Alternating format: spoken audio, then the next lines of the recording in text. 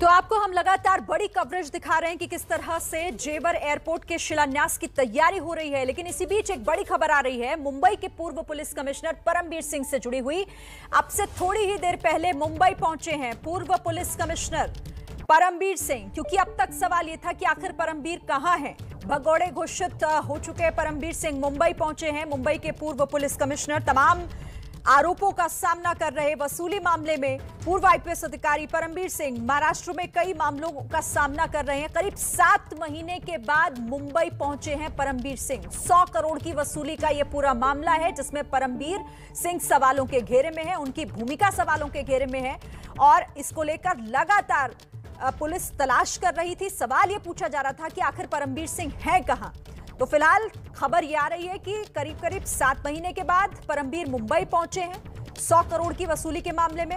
हालाँकि राहत उन्हें पहले ही मिल चुकी थी गिरफ्तारी को लेकर, लेकिन बड़ी खबर इस वक्त यह है कि मुंबई पूर्व पुलिस कमिश्नर परमबीर सिंह, इससे पहले उन्होंने अपनी चुप्पी तोड़ते हुए कहा था कि वो चंडीगढ़ में मौजूद हैं और जाँच में सहयोग की बात कर रहे थे, सीधे हम रुक कर लेते हैं, सूरज ओझा का सूरज। बड़ी खबर है ये, क्योंकि करीब सात महीने के बाद खबर यह है कि परमबीर अब मुंबई में है।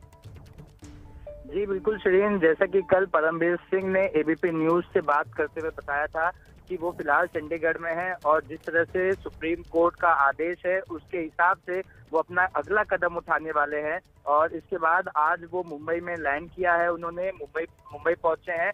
अब देखना होगा कि उनके आगे का मूव क्या होता है, वो डायरेक्टली कोर्ट जाते हैं या डायरेक्टली सीबीआई के पास जाते हैं तो कई सारे कयास लगाए जा रहे हैं जिसको जिस पर अभी तक किसी तरह की क्लैरिटी नहीं है।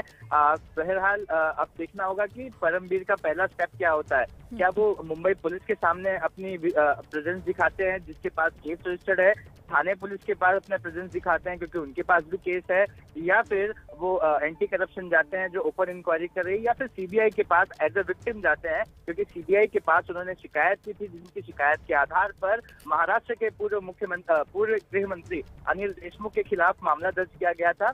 तो तमाम चीज़ें हैं। अब देखना ये होगा कि वो किस डायरेक्शन में जाते हैं। अच्छा सूरज, हालाँकि देखिए ये बड़ी खबर इसलिए हो जाती है क्योंकि सात महीने से ये पता नहीं था कि आखिर परमबीर है कहाँ। भगोड़े घोषित हो चुके हैं कोर्ट से, लेकिन राहत इस बात को लेकर थी कि कोर्ट ने गिरफ्तारी पर रोक लगा दी थी और अब जाकर अपने पहले ठिकाने का खुलासा किया और उसके बाद यहाँ पर पहुँचे हुए हैं।